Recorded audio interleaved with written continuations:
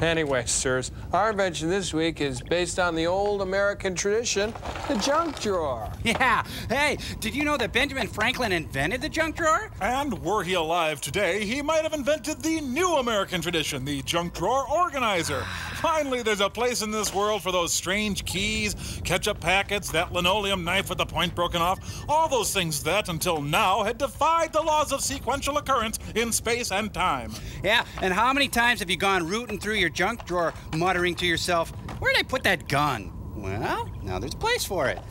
and, and, there's a place for round band aids, and for that handful of gravel that might be agate, and your shoehorn, and those two inch pieces of string that might come in handy someday. Mm hmm. Hey, there's even a separate compartment for miscellaneous grit and lint, already built in. So you don't have to. Oh? What do you think, sirs? We could get into a lot of trouble for this, Frank.